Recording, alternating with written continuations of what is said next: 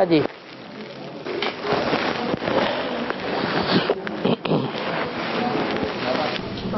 Congress government ने सारी दुनिया में महँगाई कर दी। हैं?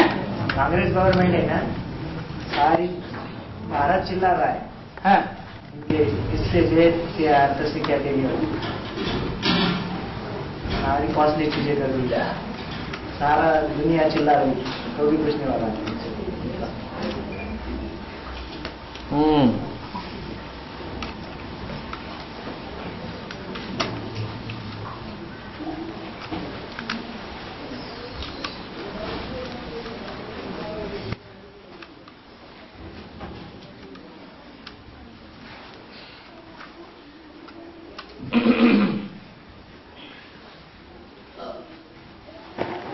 अभी कमाई ज़्यादा हो रही है कि थोड़ी हो रही है? कमाई तो ज़्यादा हो रही है। तो सरकार जब देखती है कि कमाई ज़्यादा हो रही है और हर घर का हर एक सदस्य कमाई में लगा हुआ है तो मेहनत ज़्यादा महसूस होगी या कम महसूस होगी? है? कम महसूस होगी मेहनत। है? ज़्यादा मेहनत महसूस होती है। और जब मेहनत ज़्यादा महसूस होती है तो साबित होता है कि आपस में मोहब्बत नहीं रही। यथा राजा, तथा प्रजा। पहले राजाएँ होते थे प्रजा से इतनी मोहब्बत होती थी और प्रजा को राजा में इतनी मोहब्बत होती थी कि जान गवाही करने के लिए सदा तैयार रहते थे। तो अभी गवर्नमेंट भी ऐसी तमो प्रधान है।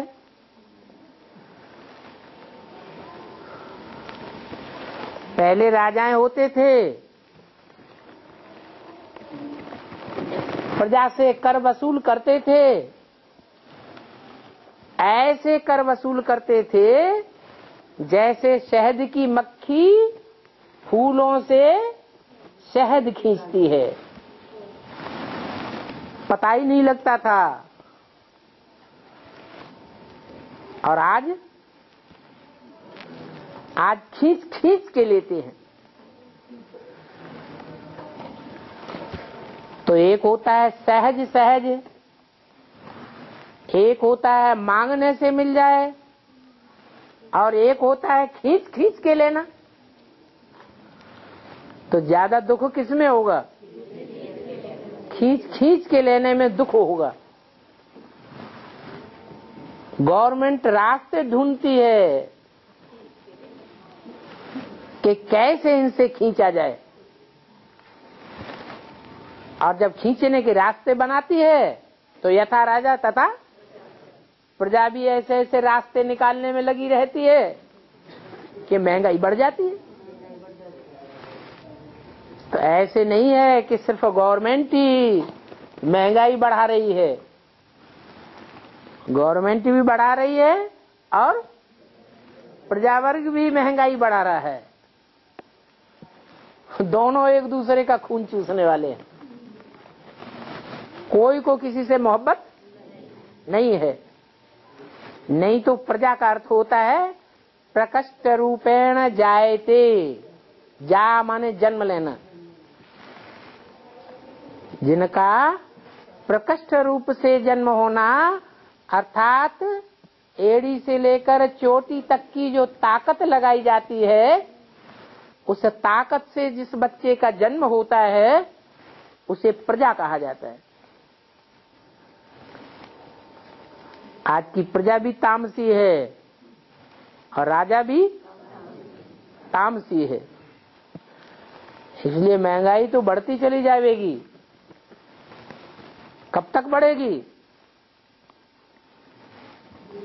है? अंत कब होगा? है? है? विकारों का अंत कब होगा?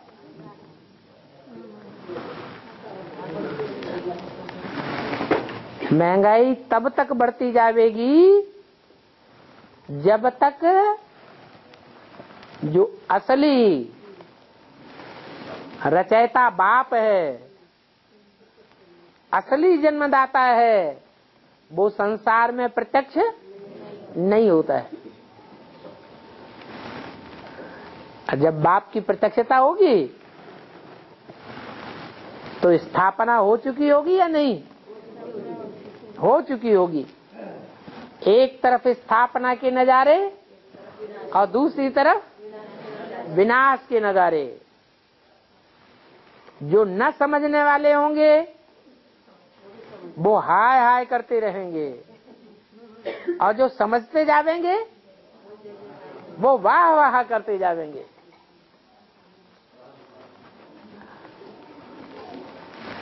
उनको पैसे बचाने की चिंता नहीं रहेगी फिर। सोचेंगे जो भी हमारे पास है लटू लेजमा क्या करें? है? अविनाशी कमाई में लगा दें। बाबा मुरली में आए हैं पीयू की वाणी। माने क्या है पीयू माने बाप। है। पंजाबी में सिंधी भाषा में कहते हैं पीयू बाप को। तो यज्ञ के आदि में जो बाबा वाणी चलाते थे, वो उस समय वाणी लिखी जाती थी। ब्रह्मा बाबा लिखते थे और बाप वाणी चलाते थे, कोई बच्चे या बच्ची द्वारा। तो जो वाणी लिखी जाती थी उसकी फिर बाद में कापियाँ निकलती थी। वो पीऊ की वाणी कही जाती थी।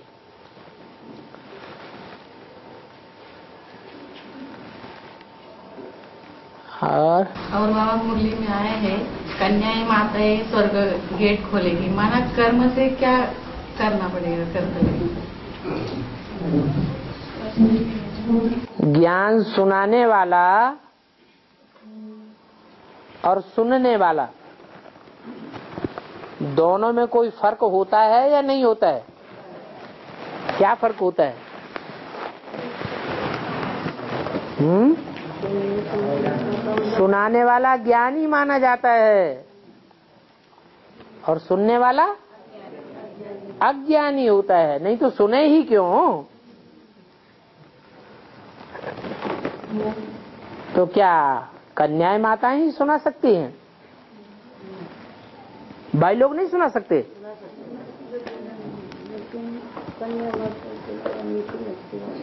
हैं? कन्या माताओं में क्या खास बात? अच्छी लगती है क्यों अच्छी लगती है कन्या माताओं के मुख से? प्योरिटी रहती है। क्यों? कन्या माताओं में सुपन खा पूतना नहीं होती है? हैं? कोई कोई लेकिन पुरुष तो सारे दुनिया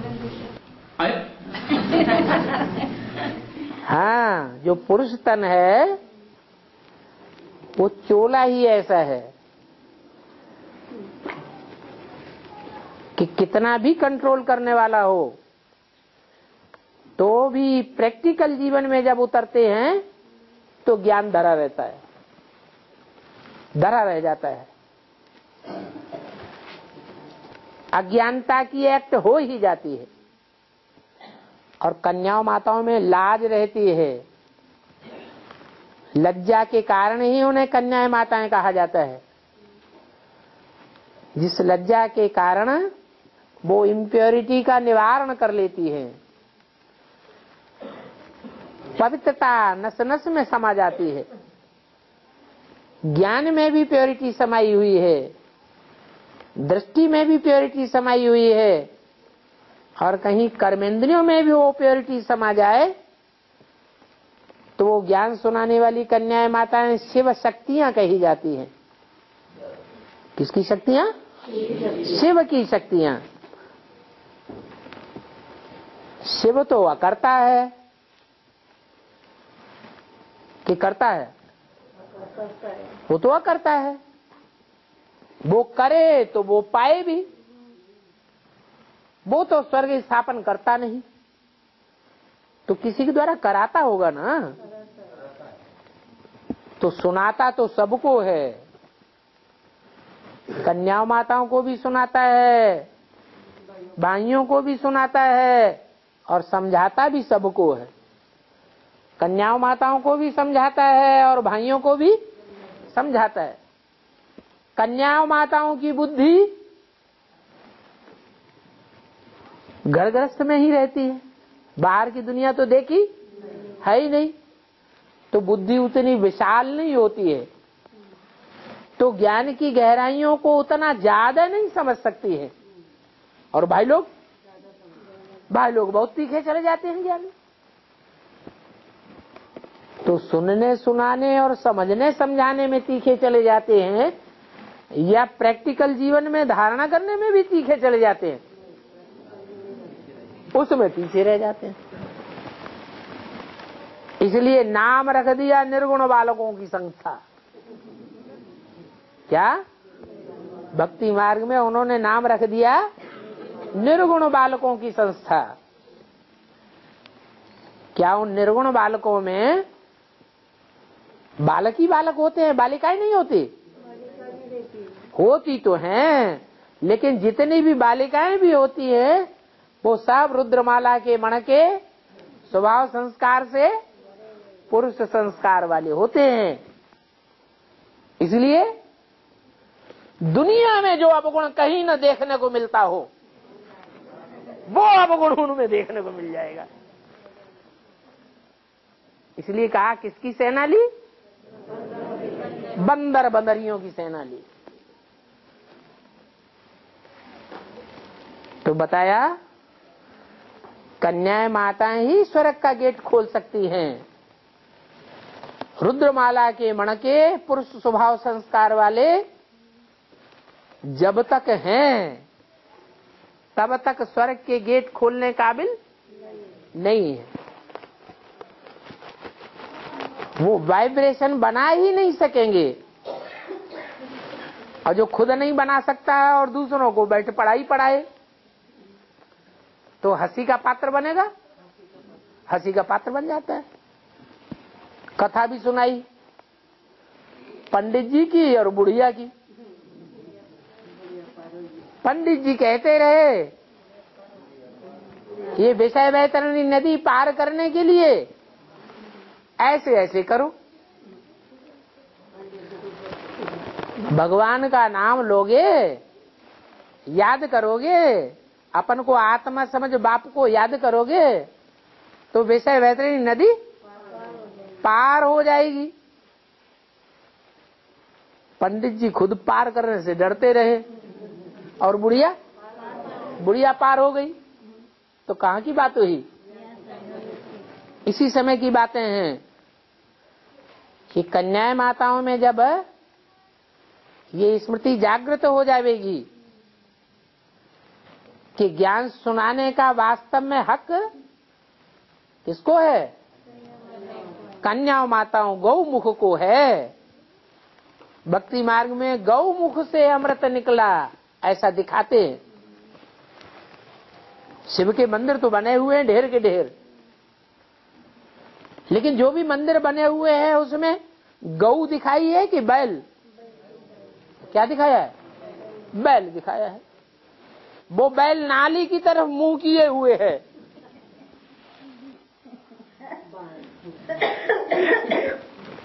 वो पीने का इच्छुक है या पिलाने वाला है? यहाँ तो गायन है गौमुख का। गौमुख से गंगा निकली। ज्ञान अमृत निकला। तो नंबरवार वो कन्याएँ माताएँ हैं, जिनके स्वभाव संस्कार में प्योरिटी भरी हुई है। वो ही स्वर्गीय वाइब्रेशन बनावेंगी, वातावरण बनावेंगी, और स्वर्ग स्थापन करने के निमित्त बनती है। और बाबा, चंद्रमा पृथ्वी का उपग्रह है। और ग्रहों पर भी उपग्रह दिखाते हैं तो उसका भेद का। जैसे बच्चा होता है बच्चा पैदा होता है तो किसी दूसरे आदमी के चक्कर काटने लग पड़ता है या अपने अम्मा बाप के चारों ओर चक्कर काटता है? उसे पकड़ के ले भी जाओ। तो भी? तो भी अम्मा बाप के चारों तरफ़ चक्कर काटेगा। तो ऐसे ही है। जो उपग्रह जिस ग्रह का उपग्रह है, उसी के आकर्षण में आकर्षित रहता है। ये चंद्रमा भी पृथ्वी का उपग्रह है। पृथ्वी की पैदाइश है तो पृथ्वी के चक्कर काटता है। पृथ्वी के आकर्षण से आकर्षित रहता है। और?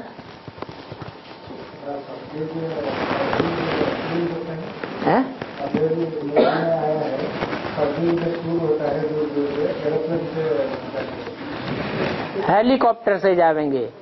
नई दुनिया में हम चल कर के स्कूल में नहीं जावेंगे।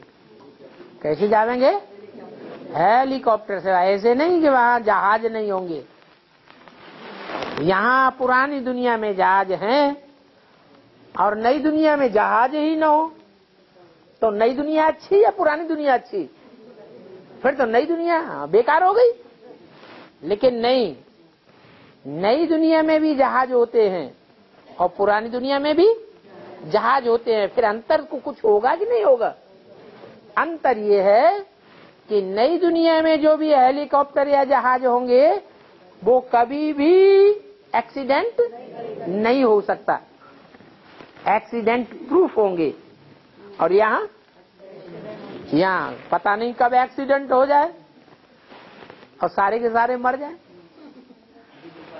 और यहाँ तो सबको मुहैया नहीं है। और वहाँ? वहाँ हर फैमिली को अपने अपने जहाज़ होंगे। क्या? और वो भी इशारे से चलने वाले होंगे। ऐसे नहीं कि वो वहाँ की तकनीक, पढ़ाई पढ़ो बैठ करके दस बीस बरस, तब वो वहाँ की तकनीक सीखने में आवे। नहीं, यूँ इशारा किया तो इधर घूम गया, यूँ इशारा किया तो इधर घूम गया, यूँ इशारा किया तो ऊपर गया, यूँ किया तो नीचे आया।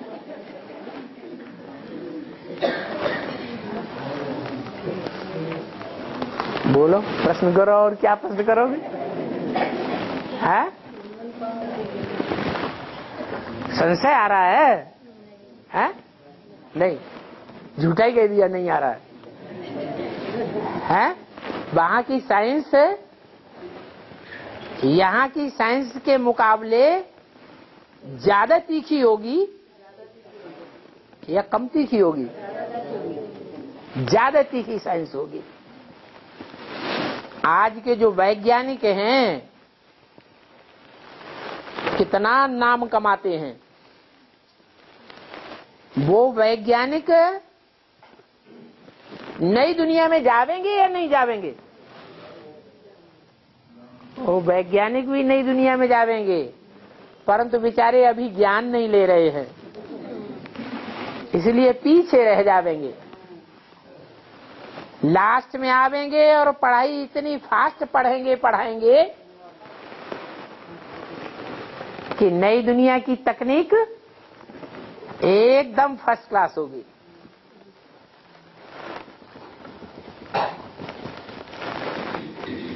यह है पाँच तत्वों को नियंत्रण करने वाली साइंस और वहाँ साइंस कैसी होगी? पाँच तत्व जड़ हैं या चैतन्य हैं? जड़ हैं। जड़ पाँच तत्वों को चैतन्य आत्मा नियंत्रित करती है, या जड़त्वमयी आत्मा नियंत्रित करती है? आत्मा पाँच जड़ तत्वों को भी चैतन्य कर, वो नियंत्रित कर लेती है। तो पाँच तत्व पावरफुल हुए या आत्मा पावरफुल हुई? आत्मा पावरफुल हुई। और आत्मा को राजयोग सिखाया जा सकता है। पाँच तत्व राजयोग नहीं सीखते। लेकिन बाबा का कहना है कि जब तक तुम बच्चों ने पाँच तत्वों को सतो प्रधान नहीं बनाया है, दुनिया के पाँचों तत्वों को, तब तक नई दुनिया नहीं कही जाएगी कौन सी दुनिया कही जाएगी पुरानी दुनिया ही कही जाएगी जब तुम योग बल से पाँच तत्वों को भी सतो प्रधान बना लेंगे तब दुनिया नई कही जाएगी। तो आज के वैज्ञानिक तो पाँच तत्वों को ही कंट्रोल कर रहे हैं, जानकारी ले रहे हैं। फिर क्या होगा? पाँच तत्व पूरे ही कंट्रोल में आ जाएँगे। और आत्मा जो है, वो इतनी कंट्रोल्ड हो जाएगी, एकाग्र हो जाएगी इच्छा की और काम हुआ। सारा काम इशारे से होगा।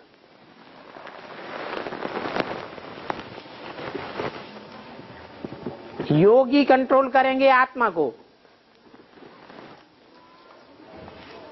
और आत्माएँ कंट्रोल करेंगी पाँच तत्वों को।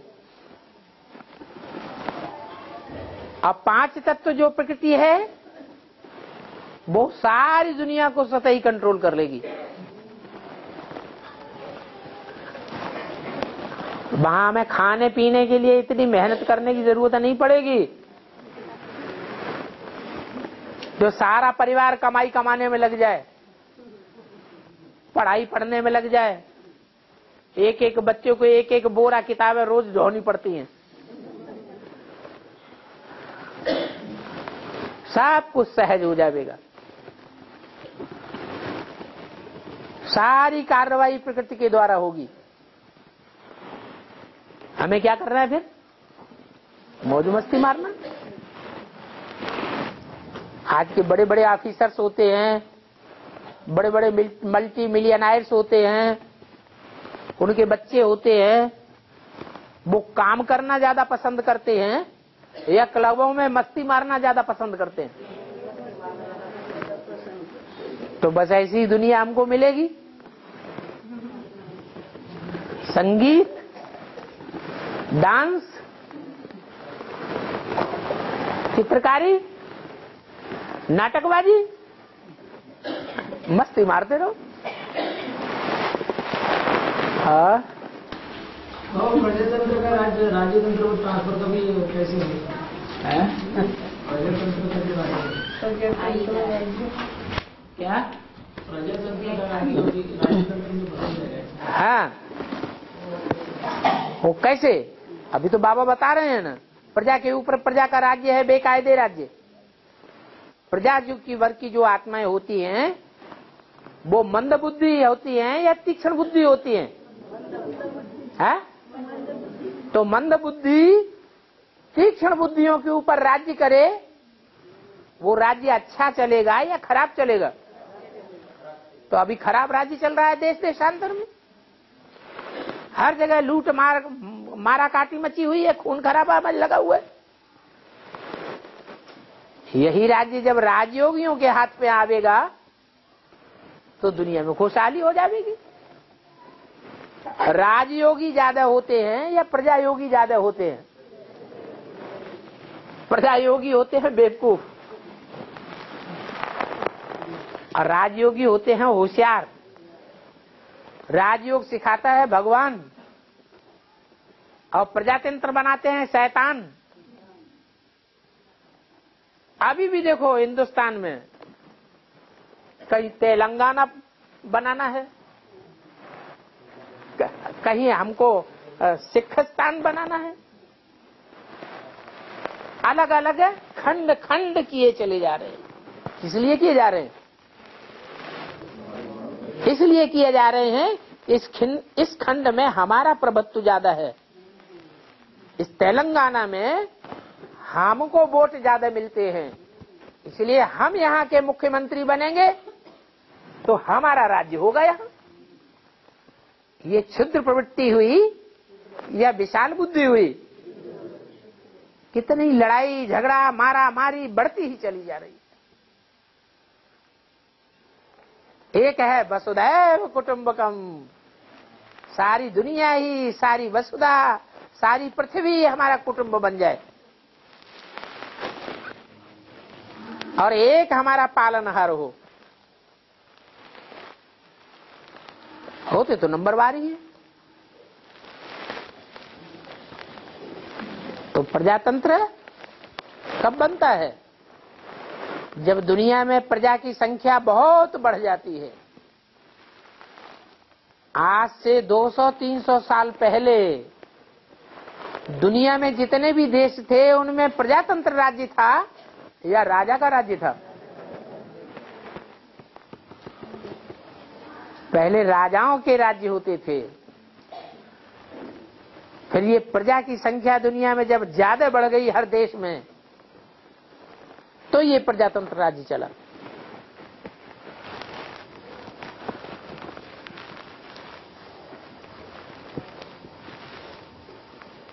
और? बाबा शरीर करते जाएँगे तो प्रजापिता बाप का शरीर भी करेगा ज़ोर से बोलो ना। सर शरीर करते जाएँगे हाँ। और आत्मा पावरफुल बनती जाएँगे। हाँ। तो प्रजापिता बाप के शरीर करेगा प्रजापिता बाप का शरीर।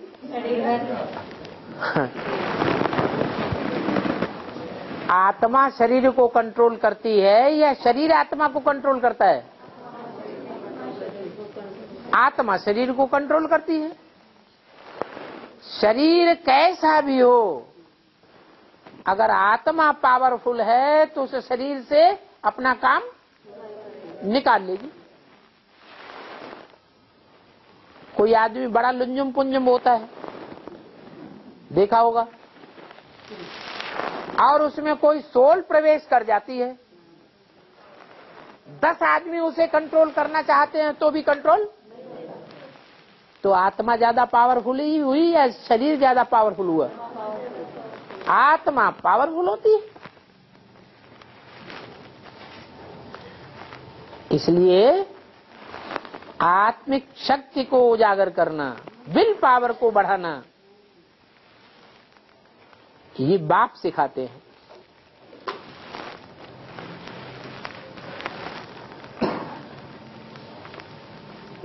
और? मराठी में कहावत है पति जो है ना तकिए के नीचे बैठा सांप है। तो बेहद में अर्थ क्या होता है? पति। हाँ पति। तकिए के नीचे बैठा सांप है वो कभी भी डर सकता है। हाँ। इसका बेहद का अर्थ क्या होता है? क्यों?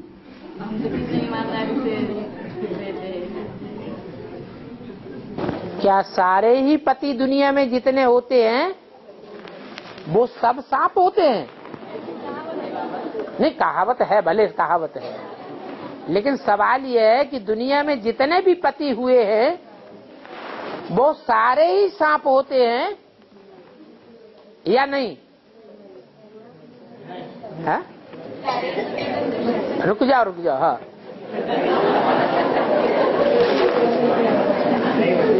है? ये भाई कह रहा है शायद कुमार तो नहीं है।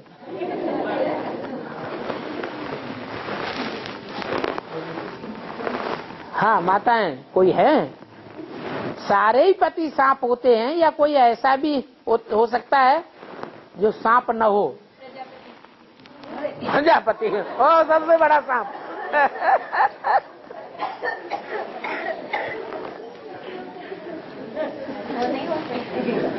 है? वो नहीं हो सकता नहीं। अगर प्रजापति कहें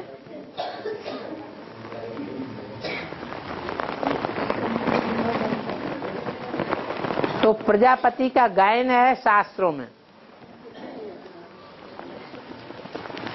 प्रजापिता का गायन नहीं है। तो जिसका गायन नहीं है, वो ज़्यादा अच्छा? या जिसका गायन है, वो ज़्यादा अच्छा? प्रजापति का गायन है। प्रजापिता का गायन नहीं है। लेकिन सारी मनुष्य शक्ति का बीज बोने वाला पिता कोई होगा या नहीं होगा? ज़रूर होगा। फिर उसका गायन क्यों नहीं है? है? अरे हमारे यज्ञ से कनेक्टेड बात है।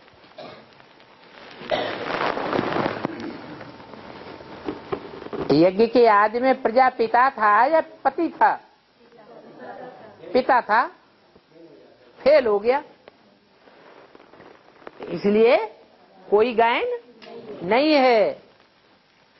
वही प्रजापता वाली आत्मा जिसके द्वारा ज्ञान का बीजारोपण किया जाता है यज्ञ के आदि में, वही आत्मा दोबारा जन्म लेकर के सारी मनुष्य सृष्टि जो है, वो सजनी बनती है।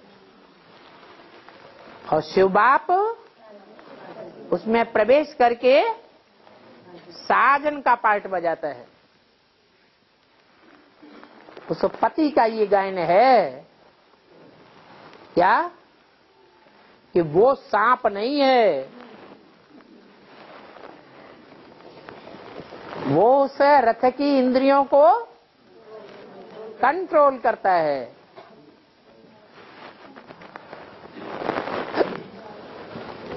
अभी प्रश्न ये था जो गायन है,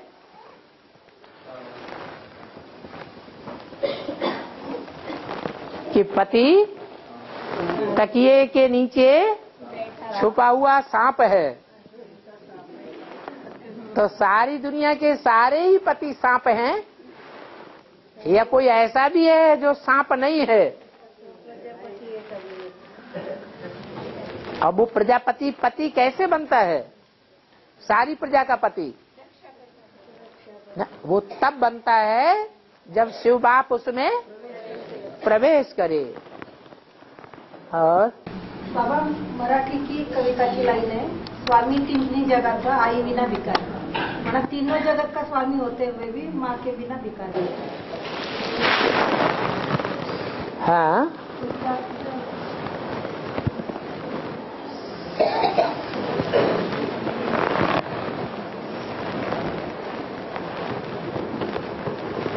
पहला ब्राह्मण, सो पहला देवता, सो पहला क्षत्रिय, सो पहला वैश्य वो ही पहला शूद्र। सो पहला ब्राह्मण बनता है।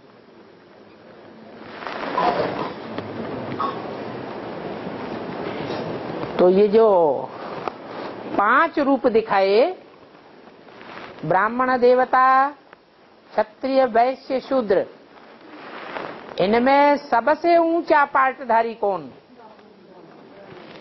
ब्राह्मण।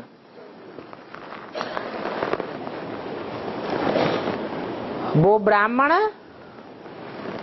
रचना है या रचयिता है? हैं?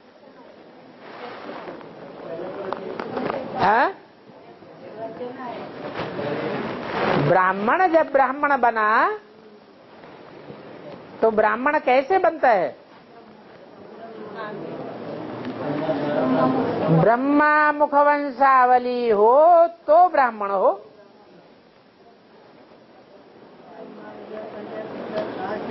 तो ब्राह्मण है पहला पहला रचना है उसका रचयिता माँ है। जिस मुख से वो सुनता है, अगर न सुने तो मुखवंशावली ब्राह्मण भी नहीं बन सकता। लेकिन उस समय ये पता नहीं होता। काम तो सारा चलता है, लेकिन पता किसी को नहीं होता है कि मैं पहला ब्राह्मण हूँ दुनिया का। मैं जगत की माता हूँ।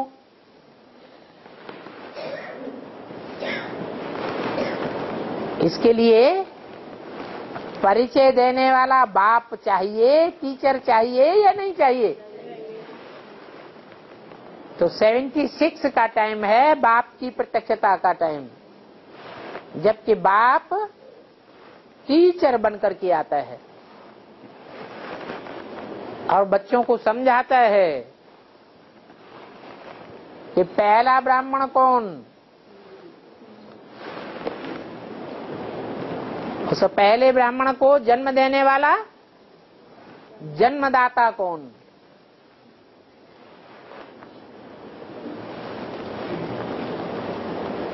तो माँ जन्मदाता हो गई रचयिता हो गई। रचयिता बड़ा या रचना बड़ी? रचयिता बड़ा हो गया। आपका प्रश्न हल हुआ? उसके बिना भिखारी गाया हुआ है ना? हैं? तीनों जगत का स्वामी होते हुए भी माँ के बिना वो भिखारी है। नहीं माँ माँ को नहीं मालूम है तो भिखारी हुआ ना? मालूम है? सन छत्तीस से लेकर सन छहत्तर तक। पता है? पता ही नहीं तो बेकारी है बैगर है। बैगर टू प्रिंस बनना है कि बन गया? बनना है।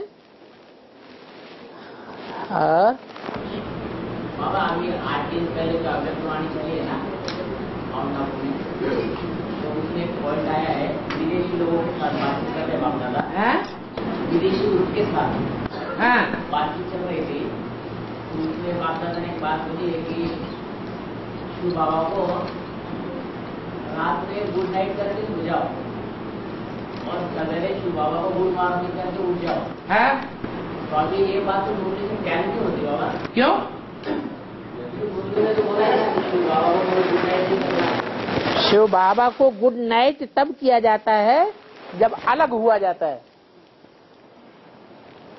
गुड नाइट कब करते हैं। जब कोई से अलग होते हैं, जुदा होते हैं, गुड नाइट। बाप दादा, गुलजार दादी में जुदा होते हैं। इसलिए गुड नाइट करते हैं। और हम बच्चे? हम बच्चे स्वप्न और संकल्प में भी बाप से जुदा होने का पुरुषार्थ करते हैं क्या?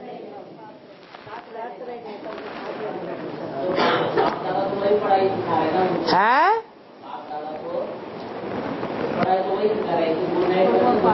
तो वही जो पढ़ाने वाला है, हम उसको गुरु मानते हैं? या हमारा गुरु कोई दूसरा है? तेरा गुरु वही है?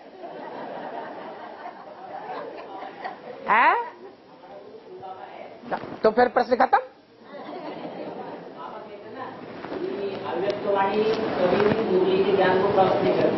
हाँ क्रॉस नहीं करती। है वो लग रहा है तुमको? है थोड़ा ही। क्योंकि वहाँ पढ़ाने वाला जो है, वो स्वयं जिसमें पढ़ा रहा है, वो साबित करता है कि मैं भूत प्रेत आत्मा हूँ।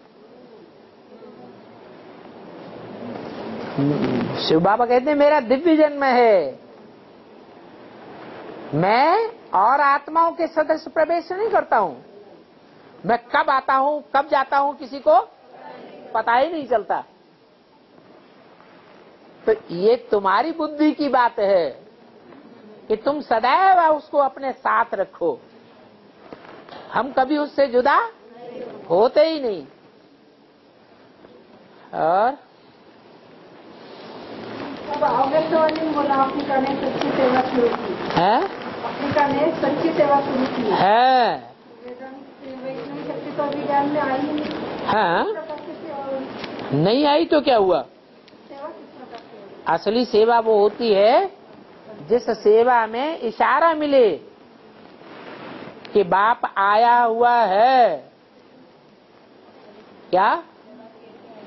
बाप आया हुआ है और वो सेवा उसी के द्वारा हो सकती है जिसकी बुद्धि में पक्का बैठा हो। क्या बैठा हो? किसको याद करना है? सबसे अच्छी युक्ति, सहज युक्ति है किसको याद करना? और नारायण को सबसे ज़्यादा कौन याद कर सकता है? उससे तो प्रैक्टिकल में जो करेगा, वही तो दूसरों को सिखाएगा। तो जिसने प्रैक्टिकल किया हुआ है हाँ। खुद के लिए भी और जो भी संसर्ग, संपर्क संबंध में आने वाली आत्माएँ हैं, उनके लिए ऑटोमेटिक वो सेवा शुरू हो रही है।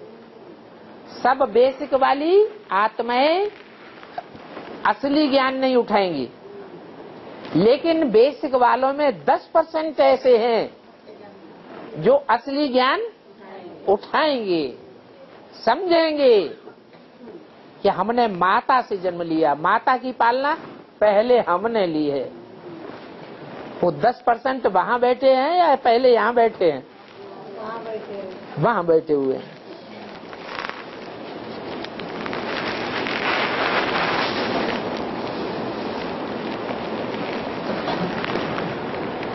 बाबा, आठ जो नष्ट मोहा बनते हैं,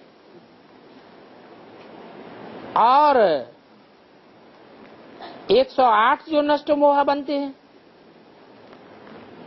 सौ लिखना चाहिए। हाँ बाबा, आठ जो नष्ट मोहा बनते हैं और सौ जो नष्ट मोहा बनते हैं, उनमें अंतर क्या है? क्या अंतर है? अरे जल्दी बताओ।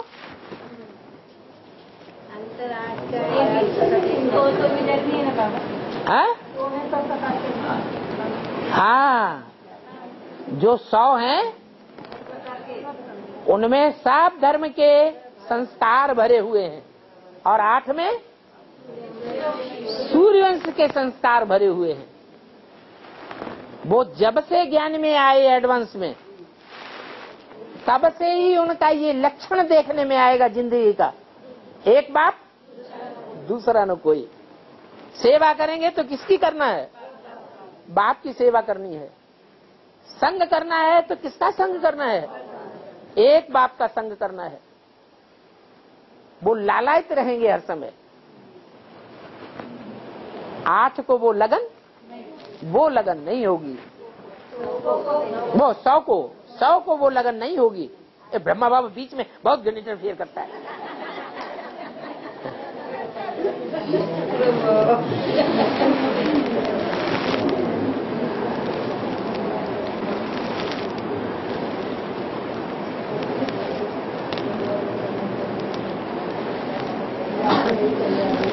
अगर कोई आत्मा का एक बार कोर्स हुआ है क्या उनका फिर से मधुबन में कोर्स करना ज़रूरी है, है?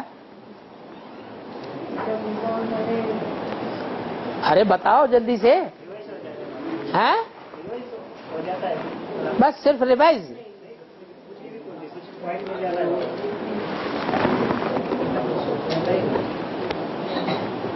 मधुबन में दोबारा जाकर के कोर्स करने के लिए जाते हैं या भट्ठी करने जाते हैं भट्ठी करने जाते हैं भट्ठी एक प्रकार से नौ महीने का बेहद का गर्भ है। जैसे गर्भ में जाती है आत्मा, एक दुनिया को छोड़कर फिर दूसरी दुनिया में जन्म लेने के लिए गर्भ में जाना पड़ता है। माँ के पेट में जाना पड़ता है। जैसे अभी बताया ब्रह्मा का पेट है, ब्रह्म महतत्व। जब तक पेट में नहीं जावेंगे, तब तक नई दुनिया में नहीं आवेंगे। तो पुरानी दुनिया से मरते हैं तो नई दुनिया में जाने के लिए बीच में गर्भ जाना ज़रूरी है। ऐसे ही यहाँ जो एक बार भट्टी कर लेते हैं और बीच में कहीं भूल गए जैसे बाबा कहते हैं, कोई का दो महीने चिट्ठी नहीं आती है तो क्या समझते हैं? बच्चा मर गया। दो महीने क्लास ही नहीं सुनते हैं, बाबा की मुरली, बाबा की चिट्ठी सुनते ही नहीं है। तो बाबा कहेंगे, मर गए तो दो, चार, छह महीने जिनका बिल्कुल कनेक्शन कट हो जाता है, वो ब्राह्मणों की दुनिया से बाहर निकल गए या ब्राह्मणों की दुनिया में है? बाहर निकल गए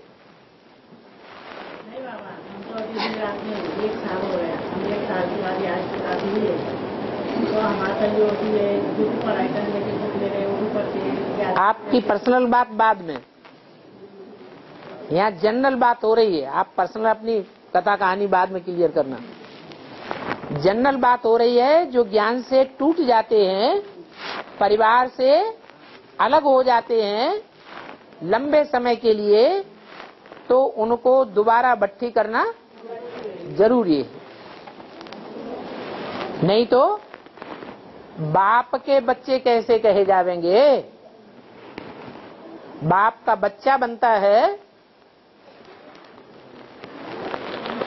तो बाप की गोदी में जाना ज़रूरी, बाप के घर में जाके जन्म लेना ज़रूरी है या नहीं है? ज़रूरी है।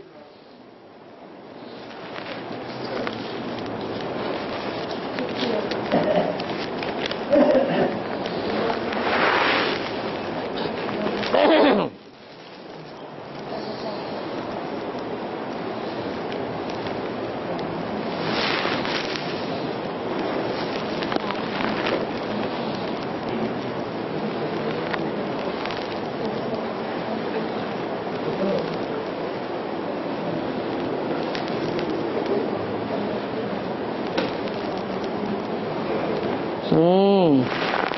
गोरक्ष भाई क्या कहना चाहते हैं? दोबारा कहो।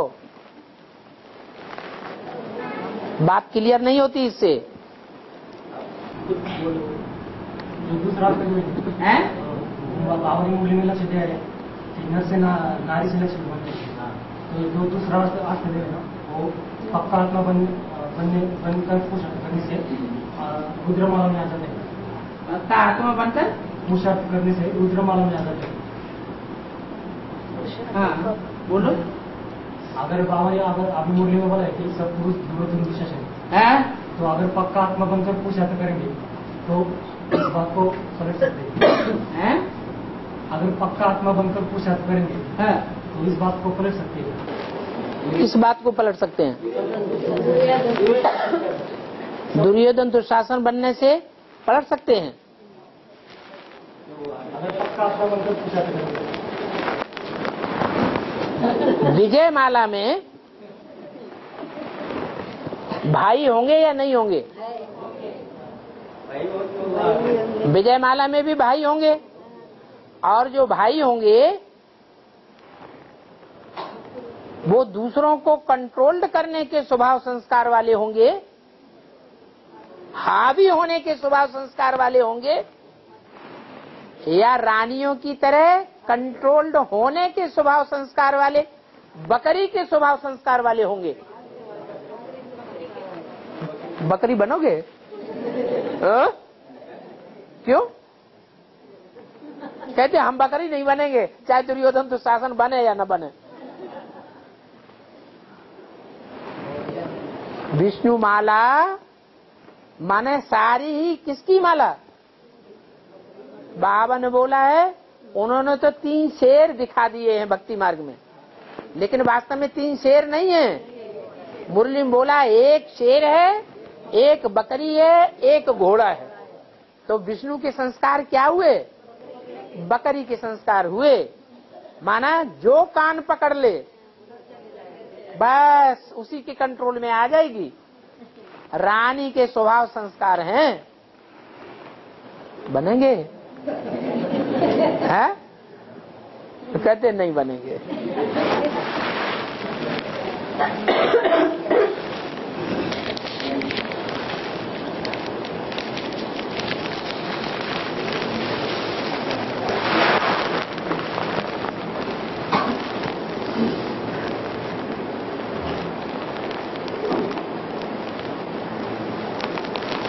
बाबा राम वाली आत्मा आदि में फेल हुई।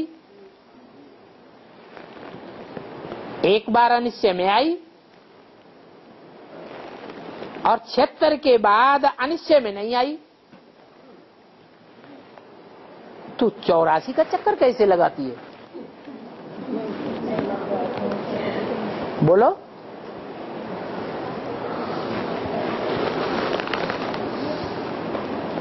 है पहली बारी फेल हुई तो क्या वो परीक्षा वार्षिक। पहली बार फेल हुई तो एक ही जन्म हुआ ना? और चौरासी का चक्कर कैसे लगाती है? चौरासी बार फेल होना चाहिए ना? है? क्या संकल्पों के आधार पर? पहले? हाँ। वो ज्ञान वो ज्ञान ब्रह्मा बाबा में भी नहीं था, शुरुआत में। कोई में भी ज्ञान नहीं था। अकेले राम की बात थोड़ा ही है। हैं? क्या? है। विश्वास था श्रद्धा विश्वास की था किसको? ब्रह्मा बाबा को श्रद्धा विश्वास था। तो उनके जन्म मरण के चक्र ज़्यादा हैं या कम हैं? सबसे ज़्यादा जन्म कौन लेता है? है? बाबा ही। अगर ये कहें ब्रह्मा तो अव्वल नंबर ब्रह्मा कौन? तो वही सबसे ज़्यादा जन्म लेता है। नहीं, इनका प्रश्न ये है कि वो आत्मा यज्ञ के आदि एक बार फेल हुई, एक बार अनिश्चय आया। तो चौरासी के चक्र में नहीं आना चाहिए ना, एक ही जन्म लेना चाहिए ना। वो तो किसी को भी नहीं, तुम्हें था उसके साथ साथ उनके ग्रुप पूरे फेल हो गए ना वो उनके ग्रुप, या उनके ग्रुप के बाद जितने भी ग्रुप ब्रह्मा की गोद में खेलने वाले, किसी को भी नहीं मालूम था। ज्ञान तो किसी को नहीं था। इसका जवाब ये है, यज्ञ के आदि में तो एक जन्म हुआ, चलो। लेकिन दोबारा जन्म लेकर जब आती है तो सबसे ज़्यादा प्रश्न और उत्तर के चक्र में कौन सी आत्मा गुजरना शुरू करती है? राम वाली आत्मा। जब प्रश्न चित्त है तो मृत्यु होती है। और प्रसन्न चित्त है प्रश्न का जवाब मिल गया तो जन्म हो जाता है। तो 68, 69 से लेकर के और 76 पूरा होते होते 77 जन्म मरण के चक्र में सबसे जास्ती वो ही आती है। सतहत्तर में संपूर्णता वर्ष कहा जाता है। तो सात वर्ष वो और तीन वर्ष वो। दस अनेक जन्मों का चक्कर हो गया। और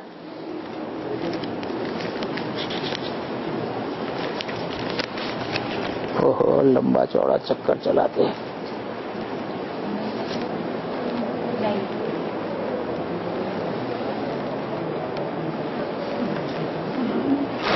बाबा, मनुष्यों में और भगवान में क्या अंतर है? भगवान भी मनुष्यों जैसा ही करता है। जब तक बच्चा लगन में रहता है, याद करता है, सेवा करता है तब तक बच्चे को खूब याद करता है, मदद देता है। और बच्चा बीमार हो जाता है, या कोई उसमें सौल प्रवेश कर जाती है, या कोई हरकत कर देता है तो बात भी नहीं करता। तो बाबा, समस्या ये है कि स्थिति खराब होने पर बच्चे को मदद करना चाहिए। बच्चे को सुधारना चाहिए। या ऐसे ही छोड़ देना चाहिए। तो लौकिक बाप, लौकिक मनुष्यों और भगवान में क्या अंतर है? कोई अंतर है? है? क्या अंतर है बताओ? क्या ज़मीन आसमान का अंतर है? अरे? अरे दुनियावी बाप होते हैं, वो भी बच्चा दुकान संभालता है तो उसको मदद करते हैं, उसको ज़्यादा वर्षा दे देते हैं, पहले दे देते हैं। बच्चा मदद नहीं करता है, पागल खाने में डाल देते हैं। रखना चाहिए अपने पास, ज़्यादा प्यार देना चाहिए, शायद ज़्यादा प्यार से सुधर जाए। तो भगवान में और मनुष्यों में क्या अंतर हुआ? है?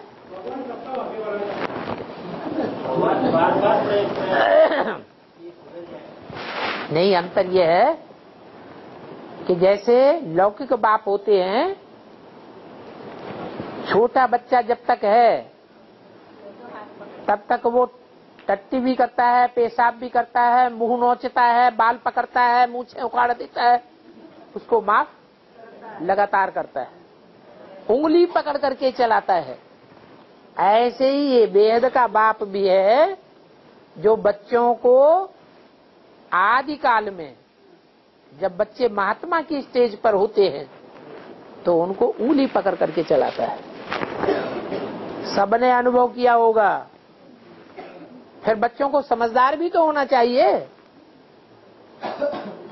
अगर ज़िंदगी भर बड़े होके भी पागल जैसे कर्म करते रहे सुधरे ही नहीं। तो इसे बाप क्या करेगा?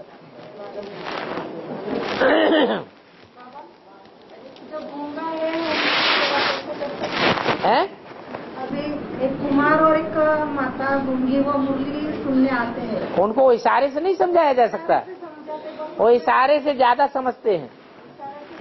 उनकी याद की शक्ति और तीखी होगी। जिनकी कुछ इंद्रियाँ काम नहीं करती हैं, उनका जो ग्यारहवीं इंद्रिय मन है, वो तीखा काम करता है। हाँ बस एक ही और रह गया।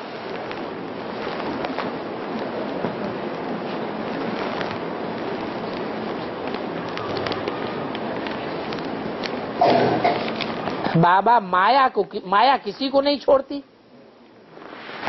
माया सबकी परीक्षा लेती है। तो माया की परीक्षा कैसे होगी?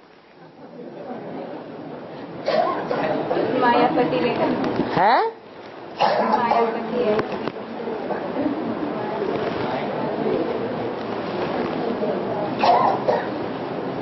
माया? मौसी कही जाती है। क्या कही जाती है? मौसी। मौसी माँ समान होती है या नहीं होती है? होती है। कहीं कहीं देखा जाता है, माँ बच्चों को नहीं संभालती है। मौसी संभाल लेती है। माया बिल्ली के हम सब एक टाइम था पुंगरे थे। माया बिल्ली ने हम सब की बेसिक में पालना की है। कोई की न की हो तो बताए। है? सब की पालना की है। तो माया रचयता हुई या रचना हुई? रचना हो गई। रचना नहीं हुई, रचयता हुई। तो जो रचयता है, उसकी परीक्षा पहले होती है या बाद में होती है? उसकी तो पहले ही परीक्षा हो गई। पहले ही परीक्षा हो जाने के कारण वो सर्वशक्तिवान का टाइटल लेकर के बैठी हुई है। क्या?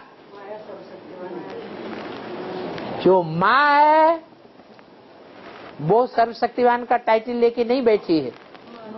और मौसी? सर्वशक्तिवान का टाइटल लेके बैठी हुई है। हैं? पास? पास क्या? वो तो सबको पास होने में अड़चन डाल देती है। उसको जो काम मिला हुआ है, वो काम कोई भी नहीं कर पाता। उसको काम मिला हुआ है कि जो बच्चा श्रीमत पर न चले, उस बच्चे को खूब फटकाओ इतनी ताकत कोई में है ही नहीं। तो ये बात ठीक नहीं है। कि माया की परीक्षा कैसे होती है हाँ है हैं? हैं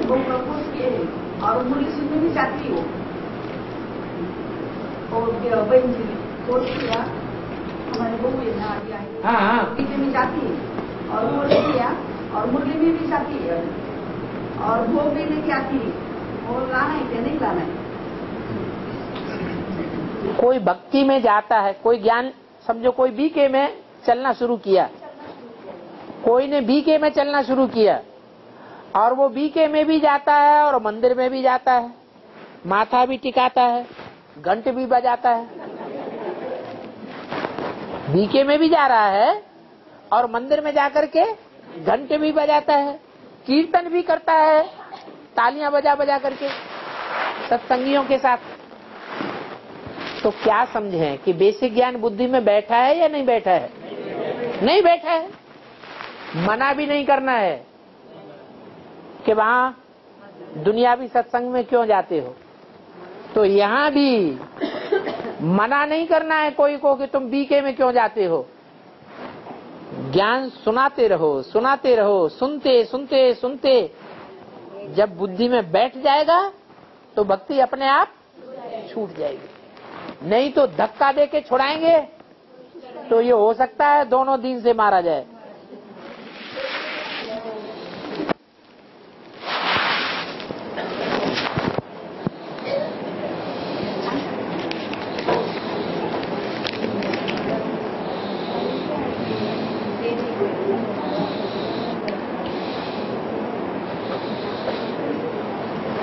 जवाब हो चुका। चलो।